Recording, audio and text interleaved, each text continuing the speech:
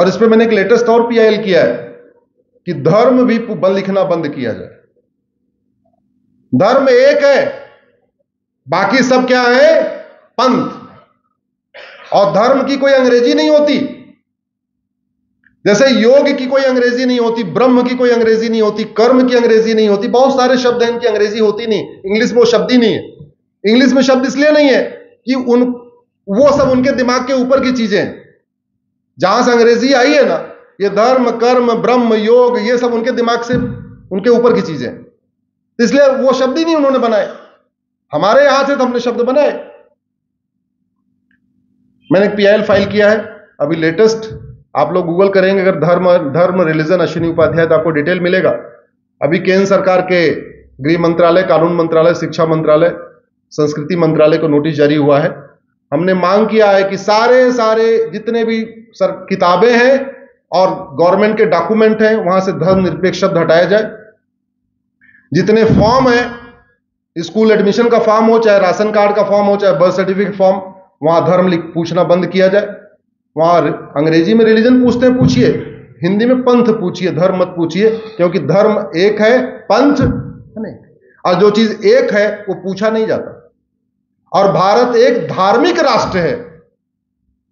भारत एक धार्मिक राष्ट्र है। भारत धर्मनिरपेक्ष नहीं है, इसलिए धर्मनिरपेक्ष शब्द को हटाया जाए।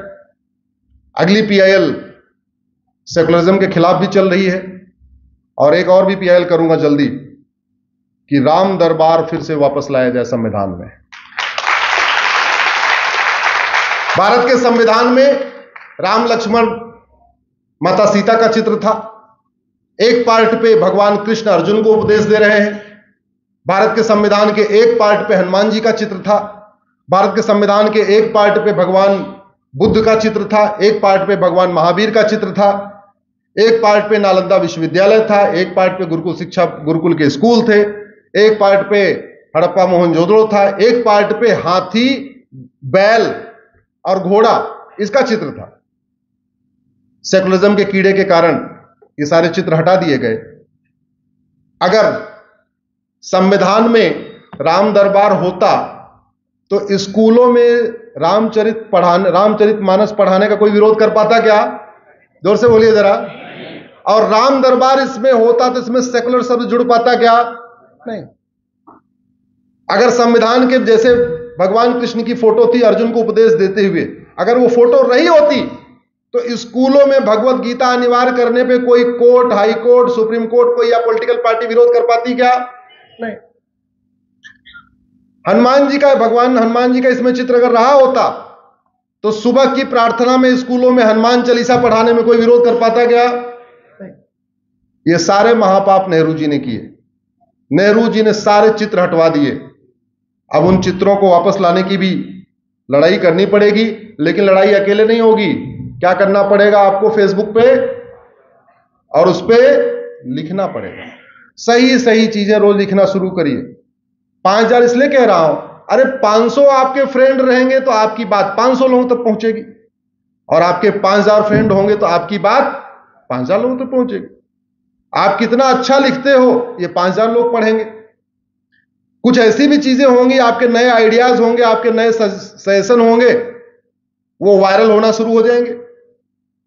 आप लिखोगे फेसबुक पे, लोग वहाँ से कॉपी पेस्ट मार के अपने व्हाट्सएप पे वायरल कर लेंगे, अपने नाम से कर लेंगे। भाई, अपने नाम से करने तो क्या दिक्कत है? कोई ज़रूरी आप ही के नाम से हो? आइडिया आपका कोई चुरा के आगे बढ़ा रहा है तो चुराने दो। अपने फेसबुक डाला, डालने दो। आप ऐसा करेंगे तो ऐसे भी हो सकता है, कुछ आइडिया आपका मंसौर का हमें दिल्ली में बैठे बैठे मिल जाए। और बैठे बैठे मिल जाए तो हो सकता है मैं पीआईएल भी कर दूँ। इसलिए मैं आपसे आग्रह करता हूँ कि आप लोग इस पे बोलना शुरू करें मानव निर्मित कोई भी समस्या लाइलाज नहीं है। पहले तो दिमाग में रख लीजिए। मानव निर्मित कोई भी समस्या लाइलाज, दूसरी बात, मानव निर्मित समस्या का इलाज किसको करना पड़ेगा? मानव। मानव निर्मित समस्या का इलाज, या तो भगवान राम के भक्तों को करना पड़ेगा तो कृष्ण के भक्तों को करना पड़ेगा, महावीर जी के भक्तों को करना पड़ेगा, गौतम बुद्ध के भक्तों को पड़ेगा, हनुमान जी के भक्तों को करना पड़ेगा। हनुमान जी ऊपर से आके, भगवान राम आके, लक्ष्मण जी आके, भगवान विष्णु आके, शंकर आके इलाज कराएँगे क्या? उसका इलाज करेंगे क्या? अल्टीमेटली राम मंदिर की लड़ाई भगवान राम लड़ने थोड़ी आए। कहाँ लड़ी गई? सुप्रीम कोर्ट में। किसने लड़ा? राम भक्तों ने। ऐसी कोई बीमारी नहीं जिसकी कोई दवाई नहीं, ऐसी कोई समस्या नहीं जिसका कोई समाधान नहीं। ज़ोर से बोलिए, ऐसी कोई बीमारी नहीं, ऐसी कोई समस्या नहीं। केवल एक घंटे का समय आप लोग देना शुरू करिए, लिखना शुरू करिए, जागरण शुरू करिए। आज की डेट में जो कुछ सोशल मीडिया में लिखा जाता है, उसको सांसद, विधायक, मंत्री, मुख्यमंत्री सब पढ़ते भी हैं। हमें चूँकि परिवर्तन करना है तो वर्तमान व्यवस्था को बदले बिना हम उसमें परिवर्तन नहीं कर सकते। अगर हम राम राज्य स्थापित करना चाहते हैं तो हमें व्यवस्थाओं को बदलना पड़ेगा। राम राज्य स्थापित करना है तो हमें नियम कानूनों को बदलना पड़ेगा। और नियम कानून घटिया होते हैं तो समस्याएँ बढ़ती हैं। नियम कानून व्यवस्था अच्छी होती समस्याएँ ठीक होती हैं। इसका सबसे बड़ा उदाहरण कश्मीर में खूब नरसंहार होता था पहले। हिंदुओं ने पलायन किया, कश्मीर पूरा खाली हुआ। एक धारा ने काम किया, एक धारा, सिंगल। कौन सी धारा थी वो? 370 खत्म हुआ, आतंकवाद खत्म हुआ। 370 खत्म हुआ, वहाँ से पलायन। अब तो चलो बच्चे नहीं, जितने बच्चे लेकिन अब तो पलायन नहीं हो रहा है ना। ऐसे 50 और घटिया कानून चल रहे हैं। 370 जैसे 50 घटिया कानून चल रहे हैं। उन घटिया कानूनों का इलाज कहाँ होगा? या तो सुप्रीम कोर्ट में होगा या तो संसद में होगा। सुप्रीम कोर्ट की लड़ाई हमारे जैसे हैं, हम दो चार लोग हैं, हम लड़ते रहते हैं। लेकिन उसका जो इफ़ेक्टिव इलाज होगा, कहाँ होगा? संसद में। तो संसद में इलाज तभी होगा जब सांसद उन विषयों को उठाएँगे। अब सांसद उन विषयों को तब उठाएँगे, या तो आप सांसद के सर पे जाके बैठ जाओ, रोज उनको जगाओ, उनको टोको महीने में एक बार जा जाके उनके पास बैठो। दूसरा, कम से कम सोशल मीडिया में लिखो। सोशल मीडिया में लिखो, उसको लोग पढ़ना शुरू करेंगे, उसको देखेंगे। इसका दो ही तरीका है। आप लोग इतनी देर हमें सुने, बहुत ध्यान से सुने, ज़्यादा ही गंभीर होकर सुने, बीच में हंसना ही छोड़ दिया। इसके लिए भी आपको धन्यवाद देता हूँ। अगर कोई बहुत विशेष, आपका एक प्रश्न था, बीच में खड़ी हो गई थी, बताइए।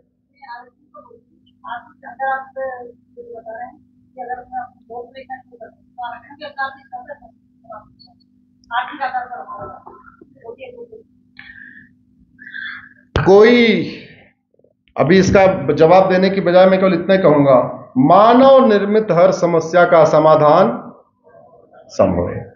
लाइलाज नहीं है। जो समस्या भारत में है, अगर वो सिंगापुर में नहीं है, फ्रांस में नहीं है, या अमेरिका में नहीं है, इसका मतलब वो समस्या लाइलाज नहीं, बड़ी सीधी सी बात। इसलिए जितनी भी समस्या है, आतंकवाद, अलगाववाद, कट्टरवाद, जिहाद मजहबी उन्माद माओवाद, नक्सलवाद, धर्मांतरण, घुसपैठ, पत्थरबाजी, जो भी समस्या है, ये सभी समस्याएँ, इनका इलाज है, बस इनकी सही दवा ढूँढने की ज़रूरत है, सही दवा है। घटिया कानून बदले जाए, घटिया व्यवस्था बदली जाए, घटिया सिस्टम बदला जाए। और वो स्वाभाविक सी बातें बदले। आप डिमांड करोगे सप्लाई होगी। अगर आप ये सोचोगे, नहीं नहीं यार, अपना काम धाम बढ़िया चल रहा है, अपना गाड़ी मकान हो गया, वैगनार आ गई या जो भी है, अपना फार्म हाउस बन गया, अपना सब कुछ ठीक हो गया, ज़रूरत क्या है? उससे नहीं बदलेगा। आपको थोड़ा पेन लेना पड़ेगा, थोड़ा सोचना पड़ेगा। आप राम के भक्त हैं तो चौदह साल वनवास नहीं, कम से कम पर डे चौदह मिनट तो दीजिए। सोचिए तो। समस्या के मूल कारण को लिखिए तो। अस्थाई समाधान को लिखना तो शुरू करिए। भगवान राम की सबसे बड़ी पूजा यही होगी कि राम राज्य स्थापित करने में जो समस्याएँ आ रही हैं, उनको आप लिखना शुरू कर दीजिए, समझिए भगवान राम की पूजा हो रही।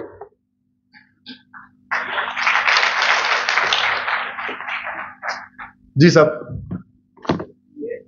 भगवान राम दरबार का जो चित्र हटाया गया, इसके लिए कोई संविधान संशोधन तो लाया नहीं गया। इसलिए ये तो अभी भी फिर से छाप सकते अगर कोई पब्लिशर अगर हिम्मत करे। तो कहाँ रोक है? नहीं पब्लिशर नहीं छाप सकता। उसके लिए। क्योंकि संविधान संशोधन तो लाया नहीं गया इसके लिए। मैं समझ गया आपकी बात। उसको चोर दरवाजे से निकाल दिया गया। और किसी पब्लिशर की इतनी हिम्मत नहीं है कि उसको छाप सके। जैसे आर्टिकल 35 ए चोर दरवाजे से निकाला गया था लेकिन किसी पब्लिशर की हिम्मत नहीं पड़ती आर्टिकल 35 ए छापने की। इसलिए हमें आर्टिकल 370 तो पता था, क्योंकि छपती थी, छपता था। लेकिन आर्टिकल 35 में पता ही नहीं चलता था, क्योंकि छपता नहीं था, किसी किताब में नहीं होता था। इसलिए दोबारा राम दरबार लाने के लिए, भगवान कृष्ण को वापस लाने के लिए, भगवान बौद्ध को, भगवान महावीर को वापस लाने के लिए, भगवान हनुमान जी को वापस लाने के लिए, हनुमान भक्तों को थोड़ा मेहनत करना पड़ेगा, थोड़ा प्रयास करना पड़ेगा। और प्रयास वही है, जिस चीज़ की डिमांड होगी वो सप्लाई अगर आपकी डिमांड में दम है और डिमांड ज़ोर से हो रहा है, सामूहिक हो रहा है, लाखों की संख्या में हो रहा है तो सप्लाई होगी।